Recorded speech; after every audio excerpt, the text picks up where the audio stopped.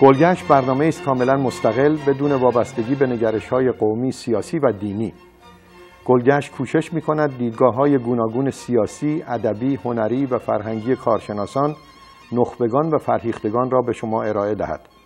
با این امید که فضای گسترده تر برای تقابل اندیشه ها به دست آید. نگرش های متفاوت را برمیتابیم، پاکیزگی کلام را پاس می داریم و با هم به گلگشت می رویم.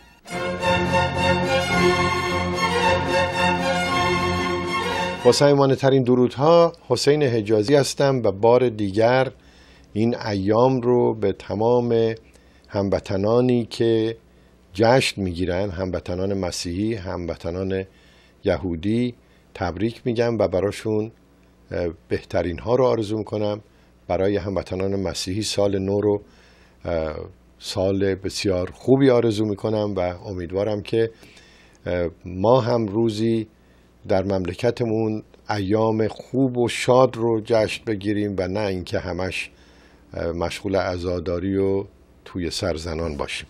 ارز کنم حضورتون که فرصت کوتاهی هست قبل از اینکه به هامبورگ بریم و گفتگو بکنیم با آقای مهندس حسن شریعتی شریعت مداری. خیلی معذرت بخوام گفتم شریعتی واقعا اون داستانی است آقای مهندس شریعت مداری و در این فرصت کوتاه سعی می‌کنم مروری داشته باشم به پاره ای از مسائل مهمی رو که در سال گذشته جهان باش روبرو بود. در ماه ژانویه 2014 لاتویا به عنوان هجدهمین کشوری که یورو رو به عنوان پول خودش انتخاب کرد به عضویت کشورهای گروه یورو درآمد. در ماه فوریه یکی از مسائلی که گریبانگیر بشر هست و کشتار می‌کنه و کشتار کرده در گذشته یعنی شیوع بیماری ایبولا در افریقا و قسمت های غربی افریقا و ابتلای بیش از 19 هزار نفر در اون تاریخ به این بیماری و حداقل مرگ 7000 نفر رو شاهد بودیم. در بین هفتم تا سیزدهم فوریه سال گذشته 2014 روسیه برگزار کننده 22 دومین المپیک زمستانی بود در سوچی که مسائل خودش رو همراه داشت. در سیزدهم فوریه بلژیک به عنوان اولین کشوری که مرگ اختیاری یا مرگ, با ترحم یا به واجهی رو که درست کردن براش برای یوتنیژیا مهرین کشی رو قانونی اعلام کرد. اولین کشوری بود که این اقدام رو انجام داد. سر این موضوع بحث فراوانی هست و یکی از مهمترین مسائلی است که بشر باش روبرو هست و به خصوص بالا رفتن سن افراد و کسانی که واقعا دیگه حیاتشون حیاتی گیاهی است و نه برای خودشون سمری داره نه برای اطرافیانشون و یا بیماری هایی که لاعلاج هستند و ادهی تو همین امریکا ما شاهد بودیم که دکتری این کار رو انجام می‌داد و کسانی رو که نمی‌خواستن ادامه حیات بدن به حیاتشون خاتمه می‌داد که خود او هم فوت کرد. در 22 فوریه از مهمترین مسائل سال گذشته به دنبال نارامی های زیاد و روزها نارامی و تظاهرات در کیف و مرگ حدود 100 نفر پارلمان اوکراین با برکناری پرزیدنت ویکتور یاکونوویچ و جایگزین کردن او با الکساندر تورچینوف یا تورکینوف. به اون نارامی ها به طور موقت خاتمه داد و در تاریخ 26 فوریه طرفداران روسیه در اوکراین دست به اعتراض زدند که حاصل اون مقدمه شد برای پیوستن کریمه به روسیه به فدراسیون روسیه. و شروع نارامی ها که گفته می‌شد بیشتر روسیه در واقع در پشت این ماجراها بود در شهرهای دونتسک و لوهانسک نارامی هایی رو شاهد بودیم.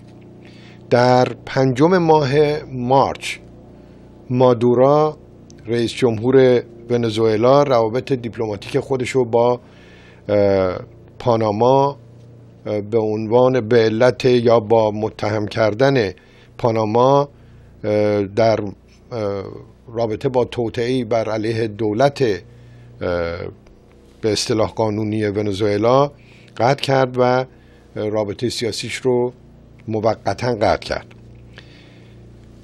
این روزها شاهد ناپدید شدن و در این لحظات پیدا شدن این هواپیمای دیگر ارز کنم حضورتون که مالزیایی هستیم در هشتم مارچ سال گذشته پرواز شماره 370 مالزیا که یک بوینگ 777 بود که یکی از بهترین و به اصطلاح خوش سابقه ترین رکورد ها رو داشته از پکن و از پکن آزم گوالالامپور بود کوالالامپور بود و 239 نفر سرنشین داشت سرنشین و خدمه داشت. ناپدید شد که گفته شد که این هواپیما در اقیانوس هند سقوط کرده و تا این لحظه هم اثری از آثارش پیدا نشده. ارز کنم حضورتون که 21 مارچ آقای پوتین با امضای یک لایحه یا قانون به صورت قانون در آوردن کریمه رو کریمه رو رسما به روسیه پیوند داد. 24 مارچ به دنبال یک نشست اضطراری در انگلستان یا اضطراری در با حضور انگلستان ایالات متحده امریکا، ایتالیا، آلمان، فرانسه، ژاپن و کانادا عضویت روسیه در جی 8 گروه 8 موقتا به حالت تعلیق درآمد. 27 مارچ مجمع عمومی سازمان ملل با تصویب قطنامه 68 ممیز 262 کریمه رو جز لایتجزای روسیه اعلام کرد. مذهب می‌خوام. مجمع اینجا رو تکرار می‌کنم. امیر جان باید درستش بکنیم.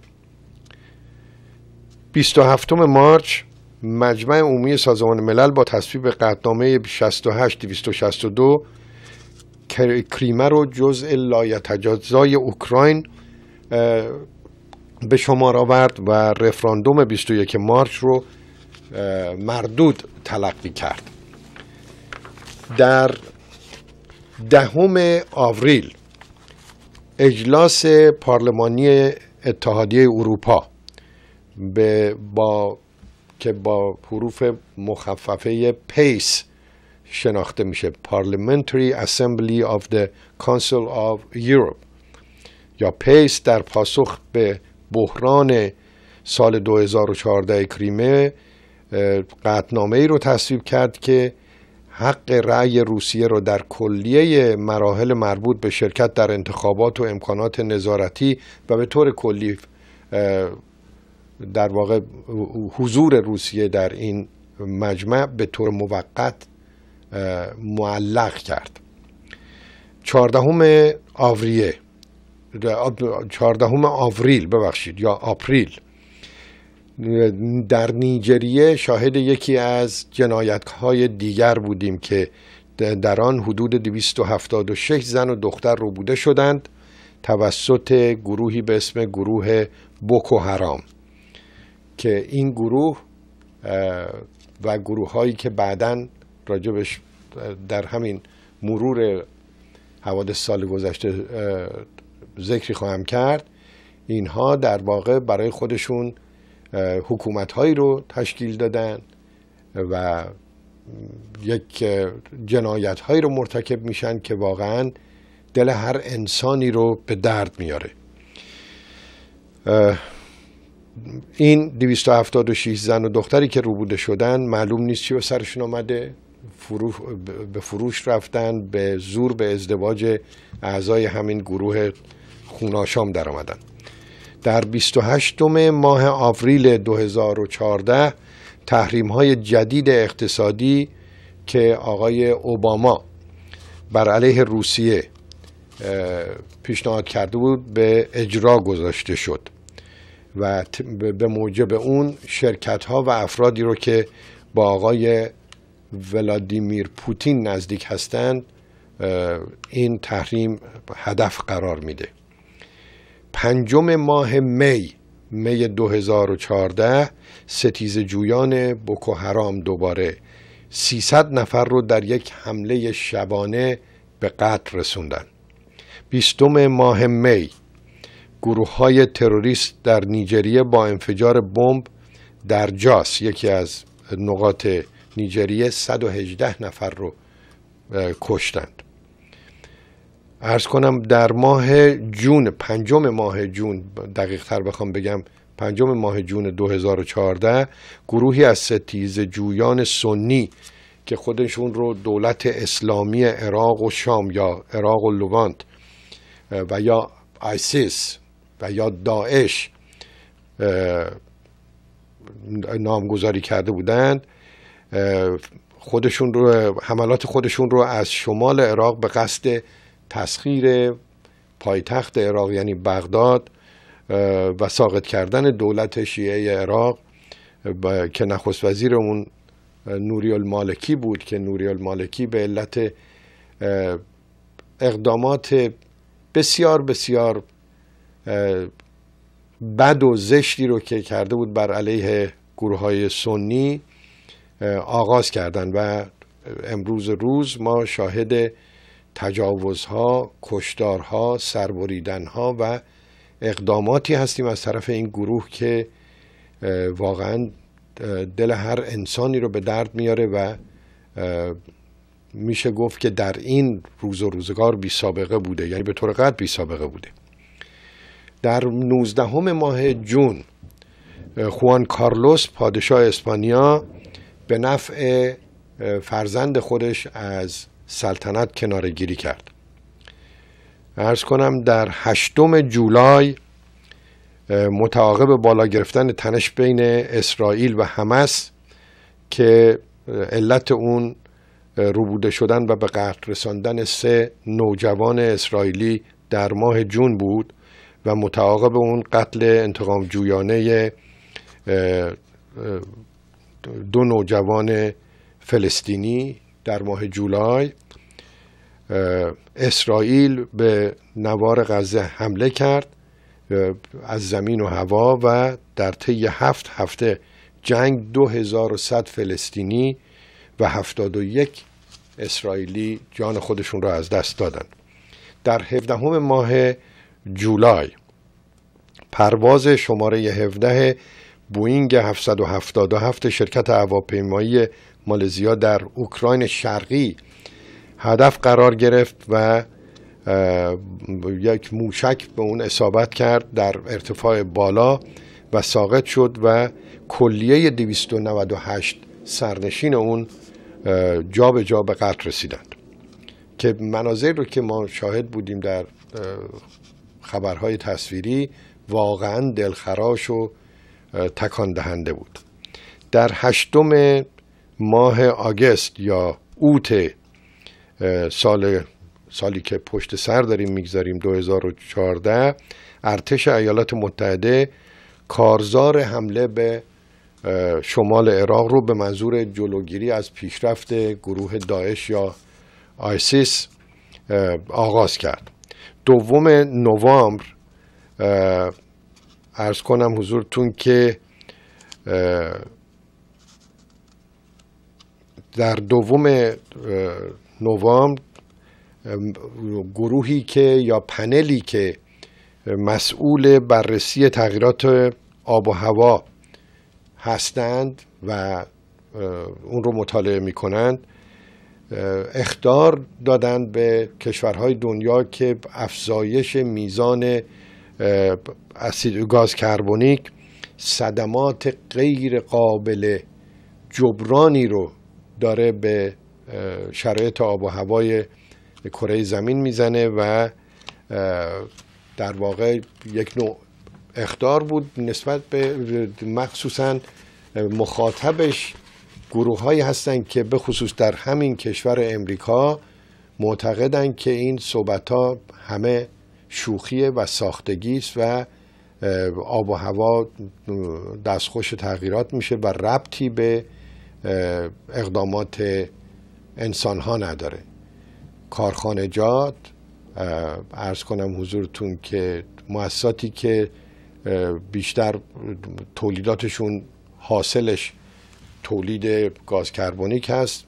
از بین رفتن, رفتن لایه اوزون دور کره زمین و تمام اینها که به طور مداوم مطرح شده از طرف ادهی به تمسخر گرفته میشه که حالا می‌بینیم که این کشورها یعنی این گروهی که مطالعه کرده نمایندگان کشورها دولتهای مختلف هستند که در این زمینه مطالعه می‌کنند ارز کنم حضورتون یکی از پیشرفت های دیگر بشر که در سال گذشته شاهدش بودیم دوم نوامبر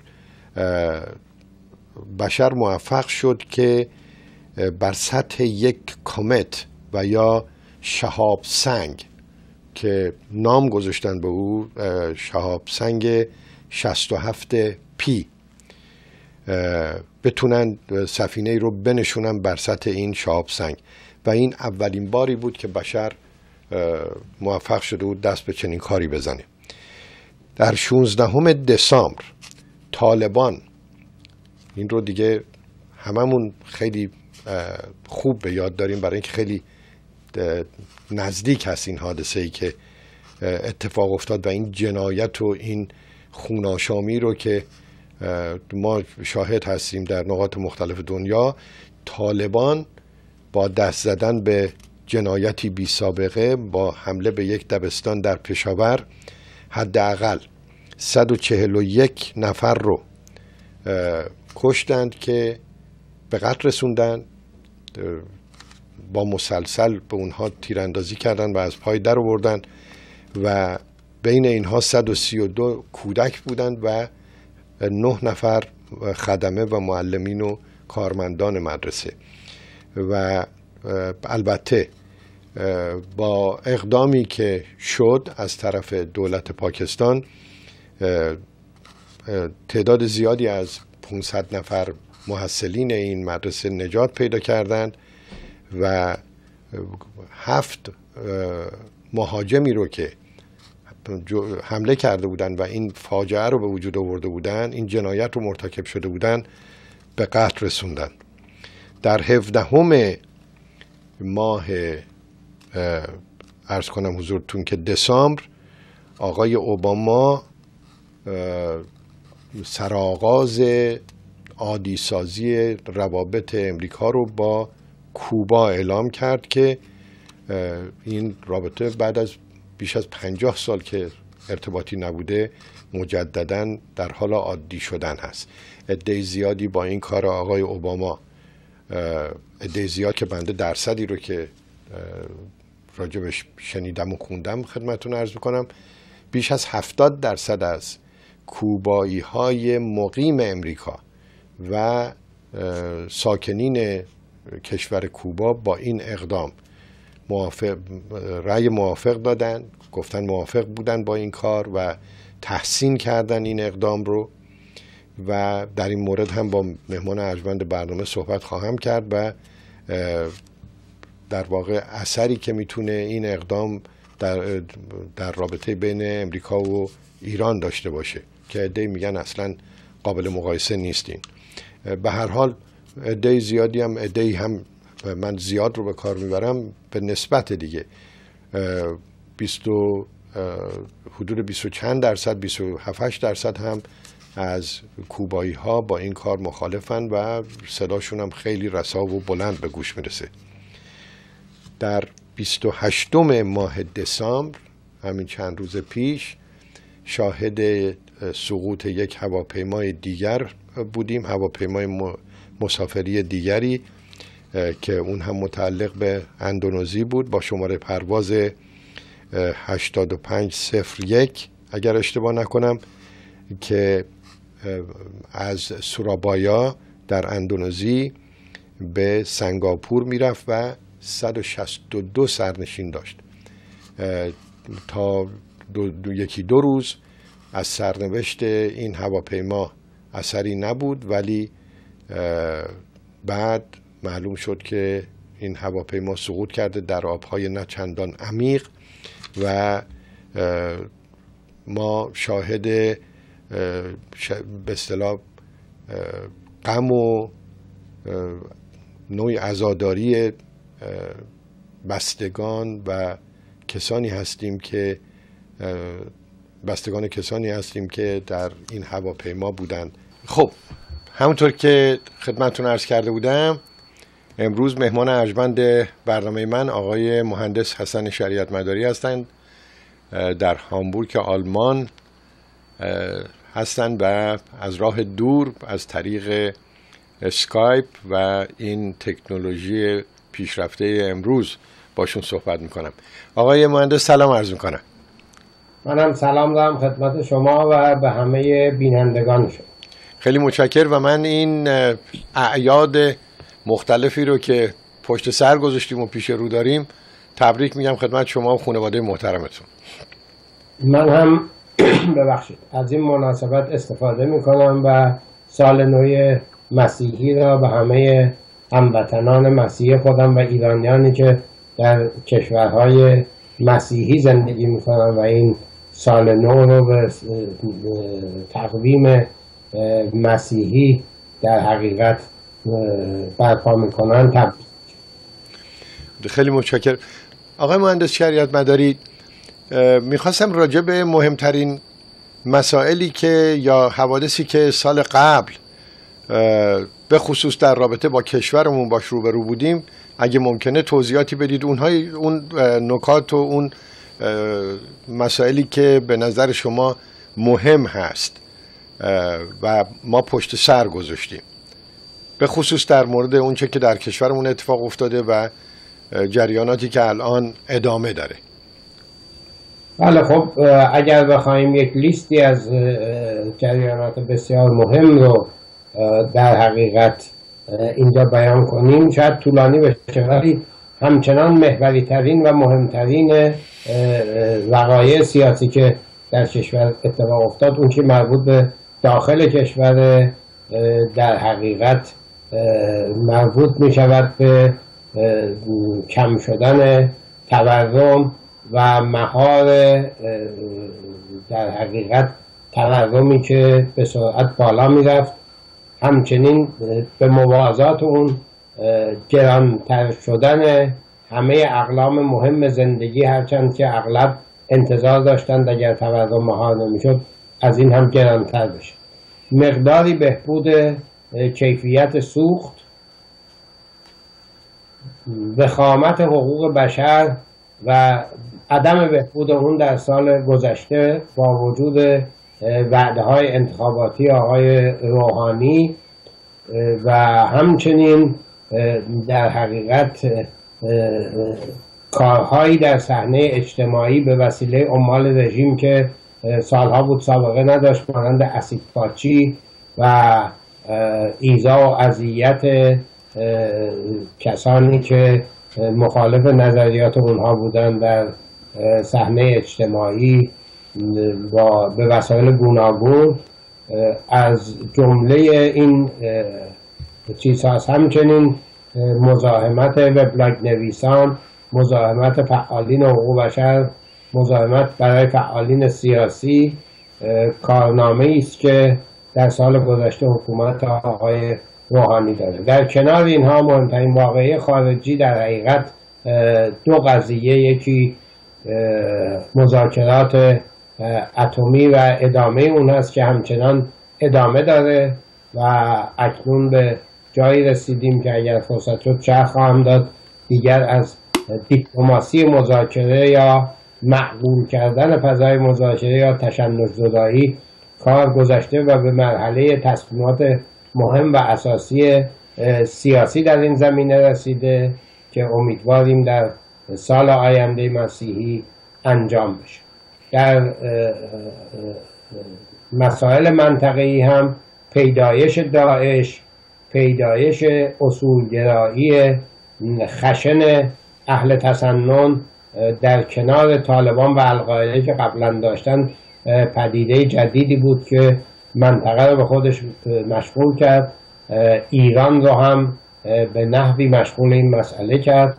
و برای ایران هم خطراتی آفرید هم برای جمهوری اسلامی فرصت هایی برای مداخله بیشتر به خصوص در اوضاع عراق و کردستان فراهم کرد. این بار نه فقط به ابتکار خودش بلکه با درخواست اونها برای مقابله با داعش و نه در تقابل با آمریکایی ها بلکه به نحوی در همکاری با آمریکایی. فکر می‌کنم که این مهمترین لیست رویدادهای سال گذشته.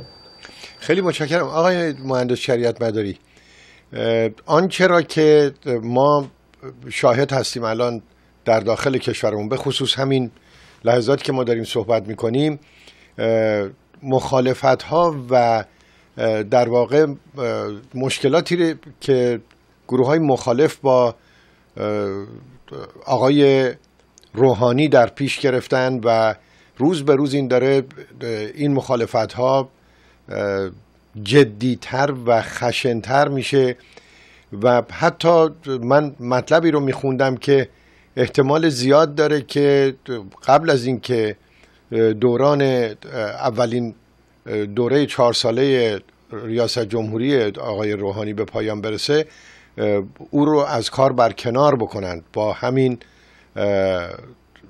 به مشکلاتی که مخالفینش براش به وجود آوردن. و همچنین مخالفت های بی حد و هستی که در راه همین مذاکرات هسته ای ما شاهدش هستیم. چی فکر می‌کنید شما؟ علا رغم اون مزایقی که به وجود آمده برای به خصوص مردم و پایین آمدن قیمت نفت پایین رفتن میزان تولید تولید و فروش نفت در ایران آیا فکر می‌کنید که بالاخره مجبور هستن رهبر مجبور هست که امر بر این بکنه که کنار بیان بگونه یا اینکه آینده رو روشن نمی‌بینید در این زمینه. بله ببینید دو تا عامل که اخیرا ایجاد شده یکی وجود داعش یکی پایین آمدن قیمت نفت شاید اثرات بسیار مهمی در مذاکرات اتمی داشته باشه.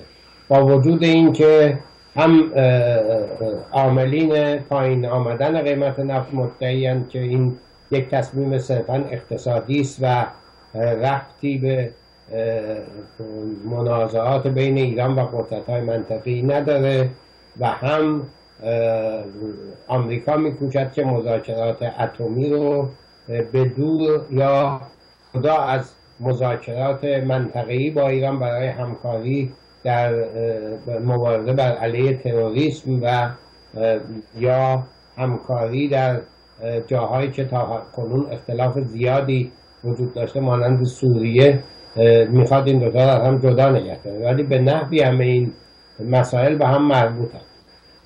همونطور که عرض کردم در سال گذشته دولت آقای روحانی علا رقم همه مخالفت هایی که نیروهای اصولگرا و سپاه با مذاکرات می‌کرد موفق شد کم و بیش رهبر جمهوری اسلامی رو در کنار تیم مذاکره کننده و دولت نگه داره و به این وسیله از قدرت تهاجم اونها کاست و یک موافقت نامه ای رو با پنج به علاوه یک امضا کرد و به وسیله مذاکرات نسبتا پخته ای توانست که فضای به شدت متشنج دیپلماتیک دوره احمدی نژاد رو به یک فضای معقول و آرامی تبدیل کنه.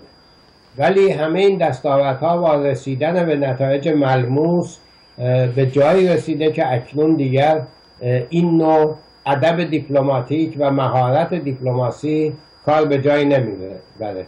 برای اینکه اون مذاکرات به پایان خودش رسیده و اکنون هنگام تصمیم گیری های مهم و اساسی از هر دو سوست و البته سوی که آمریکاست با وجود احتیاج آقای اوباما در حقیقت احتیاج یک احتیاج حزبی یا شخصی است و مملکت آمریکا در تنگنای بزرگی در صورت به توافق نرسیدن مذاکرات هسته‌ای نیست. آمریکا سختی زیادی رو متحمل نخواهد شد از این بابت اما ایران کشوری است که به خصوص با پایین آمدن قیمت نفت یا پایین آوردن قیمت نفت هر کدام را که بخوایم حساب کنیم اقتصاد به شدت آسیب پذیر ایران طوری آسیب پذیر شده که حتی در صورتی که مذاکرات به جایی هم برسه سقوط قیمت نفت امکان ایجاد یک اقتصاد بالنده رو از آقای روحانی سلب می‌کنه. بنابراین وقتی به موانعی که ایران داشت این مانع جدید رو اضافه کنیم احتیاج آقای خامنه ای به اینکه در کنار این تیم بماند و این تیم رو تقویت کنه بیشتر میشه ولی ظاهرا یک مثلثی از نیروهای مختلف المنافع وجود دارند که می‌توان اون رو دولت نهاد رهبری و سپاه پاسداران گفت. و به عقیده من قبل از اینکه آقای ظریف و تیم مذاکره کننده بخواهند مذاکرات رو به جای برسانند این مثلث مختلف المنافع باید بین خودشون قضیه رو حل کنند و تصمیم واحدی بگیرند تا بتوانند در مذاکرات پیش برند فعلا سپاه با چنگ و دندان میکوشد که دستاوردهای مذاکرات رو به هیچ تبدیل کنه و به این وسیله در حقیقت نفوذ سیاسی و نفوذ اقتصادی و اجتماعی خودش رو حفظ کنه. بنابراین بدون حل این مسئله با سپاه و بدون حل این مسئله با آقای خامنه ای در تا آخر قضیه. این قضیه به جایی نخواهد رسید و اکنون کار در جایی است که آقای روحانی دیگه قدرت کافی و بیش از این برای پیشبرد و ادامه مذاکرات نداره. باید عوامل جدیدی دخالت کنند باید اراده سریع اراده سیاسی قوی دیگری در پشت قضیه باشه تا مذاکرات از تا اینجا که آمده پیشتر بره خیلی ممنونم. آقای مهندس شریعت مداری ما در مورد نفوذ و قدرت اجرایی آقای خامنه ای خیلی صحبت ها میشنویم. میشنویم که او در واقع فقط جلوی صحنه هست و قدرت اصلی دست سپاه هست و گروه های تندرو و او مجبوره که با خواستهای اونها کنار بیاد. از سوی دیگه میشنویم که قدرت فائقه در ایران او هست و هرچه که او بگوید انجام میشه. بین این دو نظر کدوم رو شما فکر می‌کنید درست باشه؟ واقعیت در حقیقت بین این دو سیان قدرت قانونی با آقای خامنه است.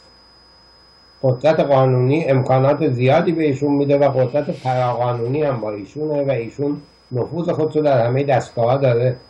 ولی سپاه اولا از طریق عکس هایی که در مقابل این تصمیمات مستقیم و غیر مستقیم نشان میده. در مقابل اراده ایشون می‌تواند کارشکنی کنه مثلا درست در روز مذاکرات یا در بحبوهه مذاکرات یک مانور نظامی می‌گذاره اغلب یا موشک جدیدی رو یا دستگاه نظامی جدیدی رو آزمایش می‌کنه و به این ترتیب در حقیقت جبی رو آماده می‌کنه جبی رو درست می‌کنه که دستاوردهای مذاکرات رو ریشخند بگیره یا اونها کم ارزش یا صحنه سازی هایی در داخل یا خارج از کشور برای خونسا کردن این کارا می‌کنه. از طرف دیگه خود آقای خامنه ای هم سعی می‌کنه که موضعی بین دولت و سپاه اتخاذ کنه و اگر در خفا با آقای روحانی می‌سازه در علن از آمریکا انتقاد کنه یا بر روی صفحه توییتر یا فیسبوکش شعارهایی بر علیه آمریکا بنویسه تا از یک سو تبدیل به یک رهبری نشه که انقلاب رو فراموش کرده و دستاوردهای انقلاب رو در اثر ضرورتهای فعلی ازش عدول کرده و از طرف دیگه ارتباط خودش ارتباط خوب خودش رو با سپاه حفظ کنه. بنابراین سپاه از این دو مسئله استفاده می‌کنه به همراه اینکه در یک خط دیگری در یک لاین توی با آمریکایی ها عوامل سپاه در سطح منطقه مذاکرات غیر مستقیمی دارند و همکاری و رقابتی دارند که این هم به اونها قدرت و اطمینان به نفس میده که می‌توانند منافع خودشون رو به پیش ببرند. بنابراین جواب به این سوال مقداری پیچیده است. اگر آقای خامنه ای روزی تصمیم بگیره که با تحمل همه عواقب. با تحمل طعم سخت شکست و با دور شدن از سپاه و نیروهای انقلابی این مذاکرات رو به نتیجه برسونه شاید بتونه. ولی اینکه آیا آقای خامنه ای چنین شخصیتی رو داره که چنین هزینه هایی رو بپذیره و تصمیم نهایی رو بدون تردید و بدون در حقیقت این پا و اون پا شدن بتونه بگیره محل سواله. و اینکه سپاه نتواند طوری کارشکنی بکنه که صحنه رو عوض بکنه اینم محل تردید بله. خیلی متشکرم آقای شریعت مداری در مورد آنچه که تا به حال شاهد بودیم تصمیماتی که ایالات متحده گرفته در رابطه با همین مذاکرات و صحبت هایی که همین اخیرا آقای اوباما کردن راجع به اینکه ایران اگر به طور جدی دست برداره از این بازی هسته ایش می‌تونه به عنوان قدرت منطقه ای در بیاد و البته به نعل و به میخ زدن او. شما سیاست اوباما رو در رابطه با ایران با توجه به اینکه بسیاری از هموطنان ما به شدت از او دلخور و دلگیر هستند در رابطه با آنچه که در سال 88 اتفاق افتاد به چه صورت می‌بینید؟ مثبت می‌بینید؟ منفی می‌بینید؟ و یا فکر کنید یک سیاست داهیانه ای بوده که بدون جنگ و بدون خونریزی چه در مورد ایران چه در مورد مناطق دیگه عمل کرده. و به خصوص آخرین برگی رو که به زمین زده و اون به اصطلاح عادی کردن ارتباط با کوباست. و تا چه حد من چند سوال رو می‌خوام اینجا بگنجونم که در فرصتی که داریم لطف کنید جواب بدید. در مورد آنچه که آقای اوباما انجام داده در رابطه با کوبا تا چه حد فکر می‌کنید این می‌تونه یک به اصطلاح سرمشقی باشه برای امریکا در رابطه با ایران؟ آیا اصلا مربوط هست یا نیست؟ بله ببینید من فکر من ابتدا باید بگم که من به عنوان یک ایرانی که در اروپا زندگی می‌کنه به سیاست های آمریکا نگاه می‌کنم. و عموما در اروپا این سیاست که در آمریکا ممکنه در حزب جمهوری خواه به خصوص طرفدار زیادی داشته باشه و اون اینکه اقتدار نظامی آمریکا می‌تواند مسائل دنیا رو خیلی راحت حل کنه اینجا کسی باش خیلی موافق نیست. من هم موافق نیستم. من فکر می‌کنم که دوران پیروزی های بزرگ نظامی و استفاده از قدرت نظامی برای حل مسائل گذشته. و آقای اوباما به درستی مسئله رو درک کرده. هرچند که ممکنه در مدیریت آقای اوباما من تردید داشته باشم. ولی در تشخیصش نسبت به این نکته ذره تردید ندارم که تشخیص داده آمریکا دیگه آمریکای دهه های گذشته و دوران قبل از جهانی شدن نیست. و ابزار کافی را برای اینکه از قدرت سخت نظامی استفاده کنه و مسائل رو حل کنه نداره. تجربیات اخیر نشان میده که آمریکا به راحتی توانست کشورهایی رو داغون کنه و سران مستبد اون از کار بندازه. ولی هیچ توفیقی در بازسازی این ممالک و عادی کردن روابط در اون و خروج از اون خاک بدون اینکه اون خاک ها دستخوش عوامل ترور بشن نداشته. امروز وجود شاه القاعده و نمی‌دونم داعش و دیگر نیروهای تروریستی شاهد این قضیه است که اینها همه رد پایی از حضور نظامی آمریکا رو در منطقه با خودشون حمل می‌کنن و ناشی از به هم خوردن اوضاعی هستند که آمریکا نتونسته اونها رو کنترل کنه. بنابراین با وجودی که من احساسات این دسته از هموطنانم رو درک می‌کنم که عجله دارن و می‌خواهند که آقای اوباما با سیاست های قاطع تری بتواند در مقابل جمهوری اسلامی بیسته.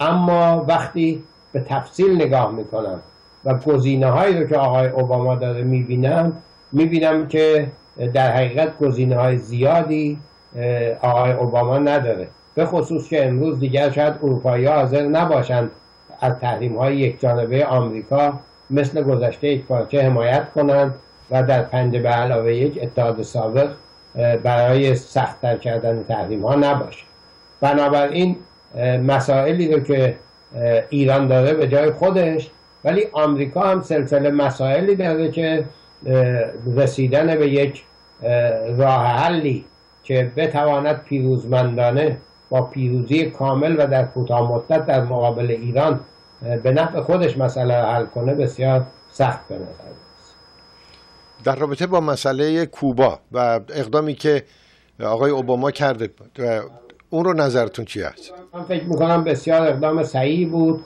و بیش از اون که از طرف آقای اوباما باشه شاید از طرف آقای فیدل کاستو و راول کاستو بود که می‌دانستند که دیگر پناه گرفتن در پشت یک ایدئولوژی که هژمونی خودش رو در دنیا از دست داده مثل باقی موندن اون ژاپنی ها در جنگل سالها بعد از جنگ دوم بود که خبر از قرارداد صلح. نداشت اونها شاید دریافتند که دیگه دوره استفاده از ایدئولوژی گذشته و سختی بیجهتی رو به ملت خودشون تحمیل می‌کنن و بنابراین من فکر می‌کنم هر رئیس جمهور دیگری هم بود اگر در دوران آقای بوش هم اگر حکومت کوبا در حقیقت میل می‌کرد که با آمریکا روابط عادی ایجاد کنه فکر نمی کنم هیچ رئیس جمهوری از این کار دریق می‌کرد و در حقیقت با کوبا روابط عادی نمی‌کرد. آقای مهندس شریعت مداری الان یکی از تکیهگاه های جمهوری اسلامی روسیه است که خب داره مملکت ما رو تاراج می‌کنه و چیز تازه نیست و سوابق تاریخی زیادی رو در این زمینه داریم این همسایه مهربانمون الان شرایطی رو که پوتین درش قرار گرفته باز در رابطه با سیاست امریکا نسبت به روسیه به چه صورت می‌بینید؟ خب من فکر می‌کنم یک دگرگونی وسیع در کل منطقه است و یک جیو استراتژی جدیدی در منطقه می‌خواد حاکم بشه.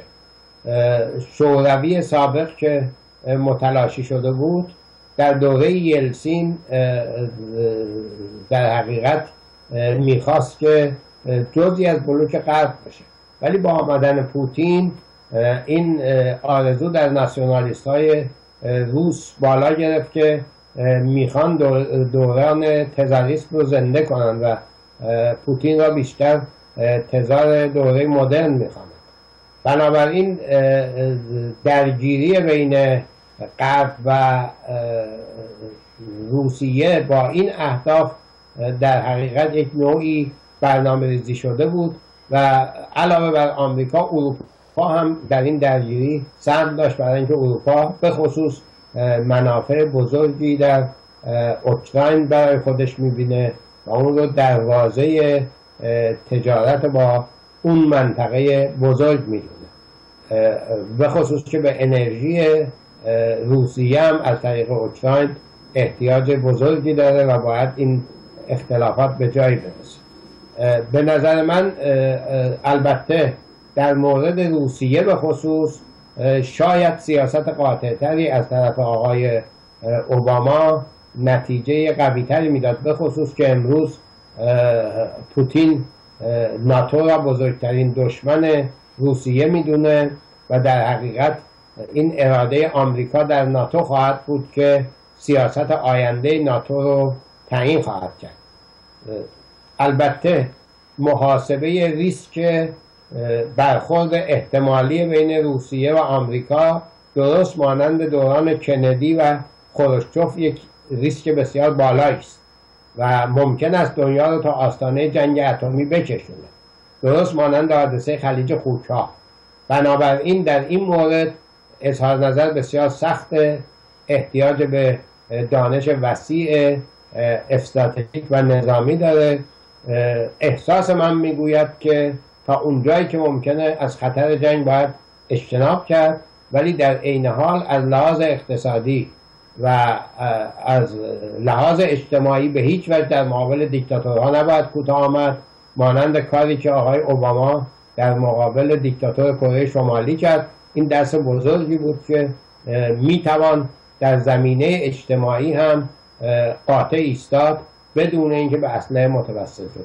من فکر می‌کنم که در حقیقت رو در رویی یا شاخ به شاخ شدن ناتو و روسیه دنیا را تا آستانه جنگ اتمی خواهد بود و این دقیقا چیزی است که آقای پوتین حتی اگر نخواهد به اونجا برسه می‌خواد در آستانه اون قرار بگیره و از ناسیونالیسم روسی برای تقویت خودش و گروه خودش بهرهمند بشه. سیاست مدبرانه لازمه که اوضاع رو به این مرحله نکشه. خیلی متشکر من آخرین سوالم ازتون می‌خواستم مطرح بکنم و اون این هست که یکی از کشورهایی که در جمع کشورهای اروپایی نگران برقراری یا اعمال تحریم ها بر علیه روسیه بود آلمان بود به خاطر نیازی که به نفت و گاز روسیه داشت آیا این مسئله حل شده است و الان مشکلی برای آلمان شما نمی‌بینید در این زمینه؟ بله ببینید آلمان سعی می‌کنه که رول یک واسط را با بین غرب و روسیه بازی کنه به خاطر اینکه مدت زیادی آلمان شرقی بخشی از شوروی اون موقع بود و عده زیادی کارشناس آلمانی با روابط بسیار خوب با روسیه وجود دارد و فراموش نکنید که پوتین معمول مخفی بله. شوروی بود در برلین شرقی مدت و فراموش نکنید که آقای شرودر صدر اعظم قبلی آلمان امروز مشاور شرکت های بزرگ نفتی روسیه است. بنابراین با وجود احتیاج آلمان به نفت و انرژی و همچنین تجارت وسیعی که با روسیه داره سعی می‌کنه در عین اینکه در اتحادیه اروپا به حاشیه رانده نشه و در حقیقت سیاست پاسیوی در این زمینه اجرا نکنه در این حال رول یک واسطه موفقی رو بازی کنه که زبان هر دو طرف رو می‌فهمه و ترجمان خواسته های هر دو طرفه. اینکه چقدر در این کار می‌تونه موفق بشه معلوم نیست ولی به صورت این سعی آلمانی است. خیلی ممنونم آقای مهندس شریعت مداری از وقتی که در اختیار برنامه گذاشتید امیدوارم بتونم در آینده نزدیک از نظرات شما در این برنامه برخوردار بشم. برای شما و خانواده محترمتون بهترین ها رو آرزو می‌کنم و بهتون عصر بخیر و شب بخیر میگم. و از بینندگان عزیز هم به اتفاق همکار خوبم امیر درخشان خداحافظی می‌کنم. روز و روزگار به شما خوش. متشکرم.